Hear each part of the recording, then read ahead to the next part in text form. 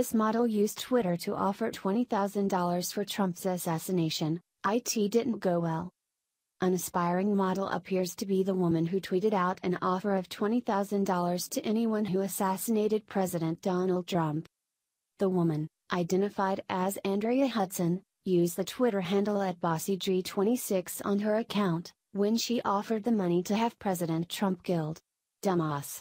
I got $20,000 for anyone willing to assassinate your ass, she tweeted at him Saturday afternoon.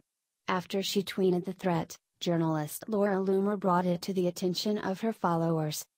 Of course, threatening the president is a federal offense, something that seems to have escaped Hudson's perception.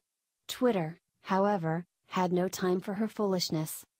Hudson's account was suspended shortly thereafter, and it appears she spent the rest of the weekend taking down her other social media accounts, including her Facebook and Instagram accounts. However, Loomer did screenshot the tweet and sent it out to remind everyone of what she said. As a result of the backlash over the tweet, Hudson has been in damage control mode, shuttering her social media and keeping quiet.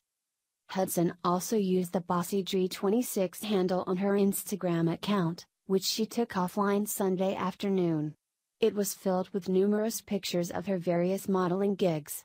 Her Facebook page, now offline, was available here. As of Sunday evening, however, her website was still online, where the pictures show the same woman that was shown on the Twitter and Instagram accounts. Hudson has issued no statement since her Twitter account was suspended. Suspended.